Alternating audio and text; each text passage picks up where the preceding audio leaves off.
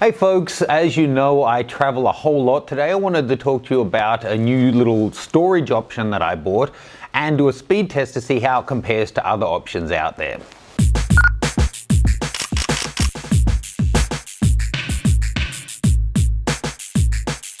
Hi folks, please jump over to mattgranger.com. You can scroll down and sign up to the mailing list. It's all free. Get up to date with what's going on. You can go up the top here and see all the different events I'm holding around the world, plus EOIs for places I'm considering going if you'd like me to come to your town. And check out the video series, all of my different complete download series for your entertainment. So, as a small primer for everyone, when you're traveling, the amount of data you rack up can really add up. And I like to have at least one backup, and my most important stuff I'll put to the cloud as well. Now, I use a MacBook Pro, and one of the things I like most about it is that it's using all flash memory. So, as I understand it, other than the fan, there's no moving parts in it. So, unlike hard drives that you know take too much of a shake or a good knock, they're dead and maybe unrecoverable solid state memory is really the future. So just taking a little survey to look at size, this is a typical external three and a half inch hard drive. Now these do go up to six and eight terabyte now, huge capacity, but they're big and they need an external power supply. Compare that to say a two and a half inch. This is a reasonably small one. I really like this one. This is a LaCie uh, Porsche design one. It's all metal. I picked this up in Paris and I've had no problems with it and I'm really impressed by the speed and maybe I'm, you know, uh, deluded by how well built it is. I feel like it's really durable, but still inside a little disc spinning really fast, so there's a risk there. But a lot smaller, and obviously being two and a half inch, you only need the USB 3 cable to power it as well. Now you can get even smaller ones, like check out this little Seagate one. I got this one in Thailand. That's pretty much the exact size of the drive, just with a coating wrapped around it. They're really, really tiny. Now, as I'm sure you know, SSDs becoming more and more popular, and SSDs typically are a two and a half inch configuration as well, but slightly smaller than this. But today I want to run through a bunch of different options uh, that I also, you know, consider to be potentially viable. One is the humble thumb drive. This is a 128 gigabyte thumb drive from Kingston, USB 3. We'll compare that. Then I have this little guy, which is a Transcend jump dri jet drive, and it's a tiny little SD card basically, but it sits flush with the SD card reader on my MacBook Pro. That's 256 gigabyte and it just sits there so I can use that for overflow memory. Then I'm also going to compare a simple Transcend, uh, sorry, Lexar uh, 64 gigabyte SD card. They're the, uh, it's one of the really fast ones, 633, um, to see how fast that will do some transfers. And then finally, considering this is your two and a half inch hard drive, this is a small one, I picked up this little guy and it's tiny. This is SSD technology from Samsung. Uh, you know, I bought this myself uh, online. It's a full terabyte. It weighs nothing, comes with its own little cable, and I'm really interested to see. I, I honestly thought it was going to be more like this size when I got it. Um, because buying 500 gigabyte was less than half the price of buying one terabyte. But I thought I don't want to carry two, better to have one. Now, seeing how tiny they are, definitely could handle having two but I'll be interested to see just how fast it is compared to all the other options because, you know, not all solid state memory is built the same. Okay, folks, so I've got all of the different drives here now. The new little Samsung T1, my LaCie three and a, two and a half inch portable hard drive. I've got just a 64 gig uh, Lexar memory card.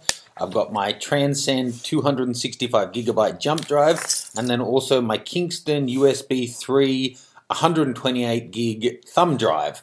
So to transfer, I'm going to do a single video file that's 3.47 gig plus a folder of images that has how many? 26 items and is 490 megabytes total. So all those files are on the hard drive and this, uh, sorry, on the SSD of my Mac Pro, MacBook Pro, and it's using the latest generation, the fastest memory that they have. So let's see how long it takes for each one to transfer. First up, let's do the LaCie drive, and for each of them, I'm going to use the cable that was supplied with them. Sometimes the cable does make a bit of a difference, but let's just see how these go. This is the Porsche design one. Uh, let's wait for that to load up, and then there it is. And I've got the clock in the background here so we know how long it took. I'll drop the file at when it gets to the minute. Okay, let's start off with this folder full of images and we drop it right as it hits the minute. There we go. So let's see how long that takes.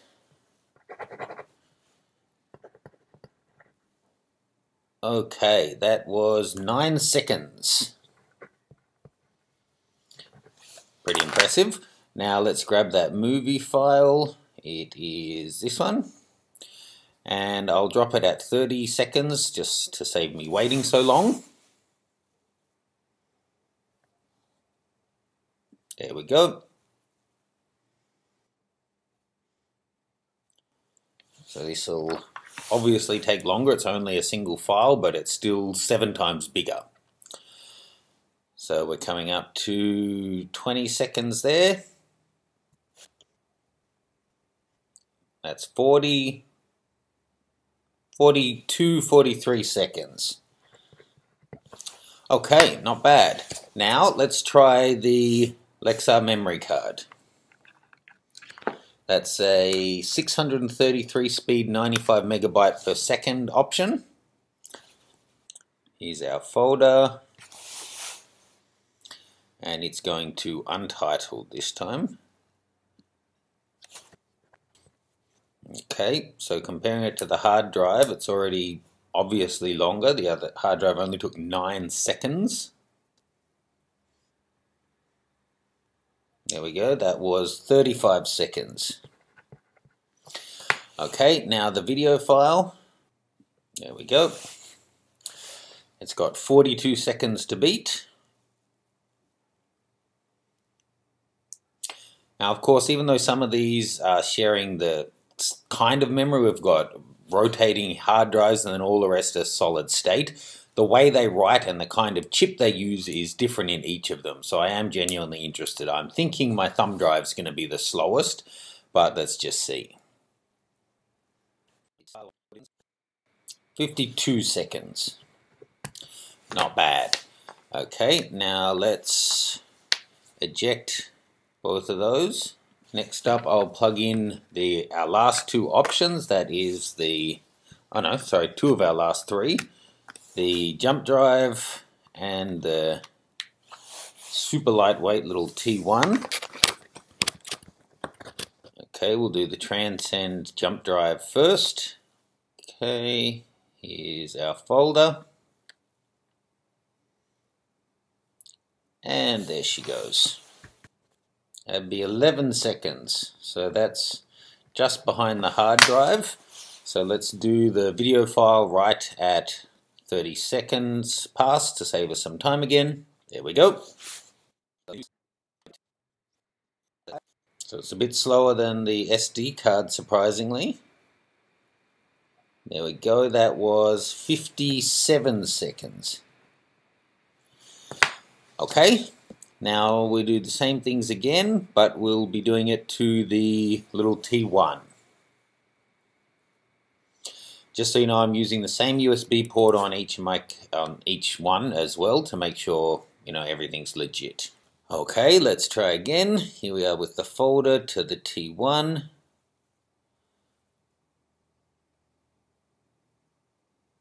There we go.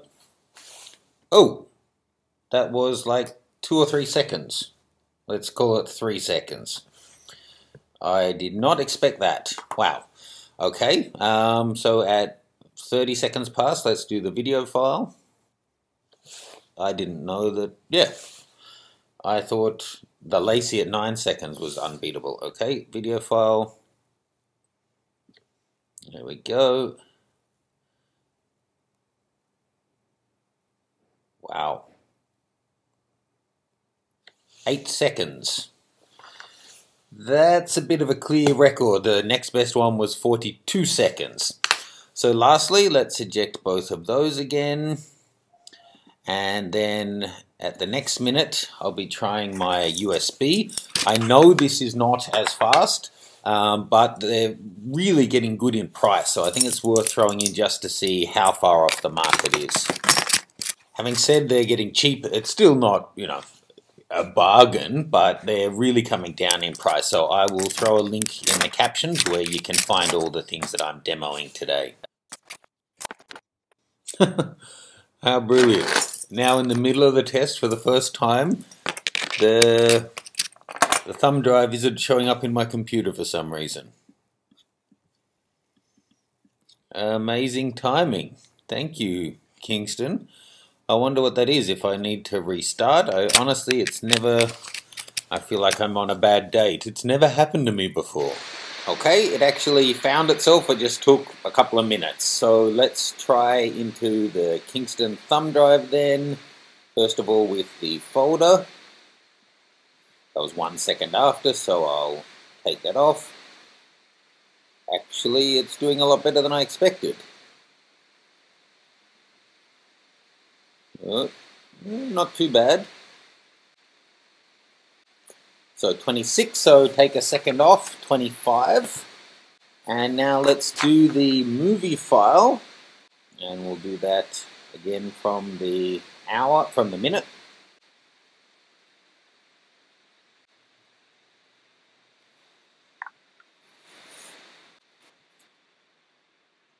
Okay, so the big file is really slowing down on this guy. Uh, the slowest was 57 seconds, so let's see how this does. It's at 40 seconds and only a quarter of the way through.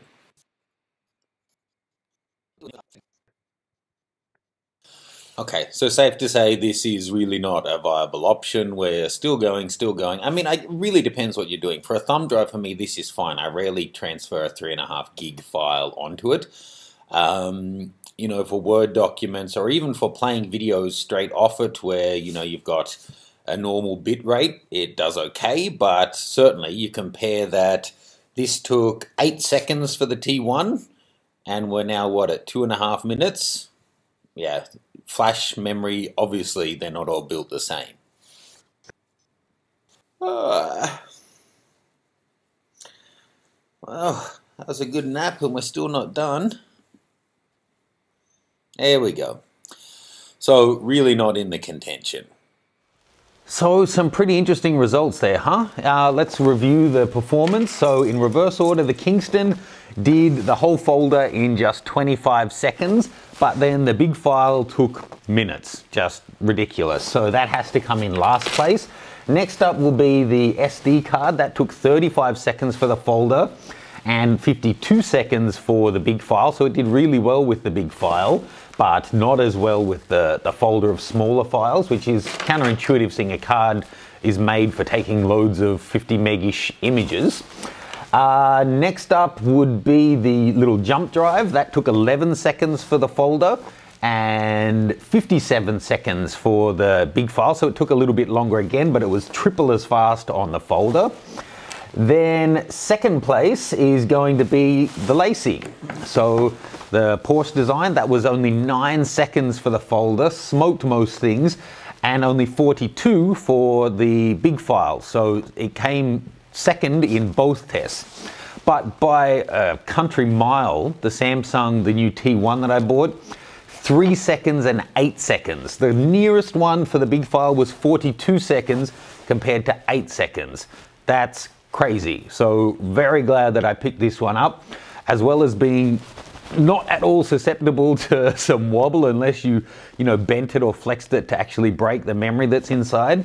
This seems like a really great option, but it does come at a price. As I said, buying this was more than buying two 500 gigabyte ones. Uh, probably four times the price of buying the one terabyte LaCie. Um, and compared to memory cards as well. Well, memory cards, if you add it up, you know, you got a dozen 64 gig ones, they would end up probably costing more than this. But for me and the kind of work I do and wanting something small, light, and above all else, not susceptible to, you know, vibration damage, great investment for me. Love to hear your thoughts. What do you use on the move? And I'll see you soon.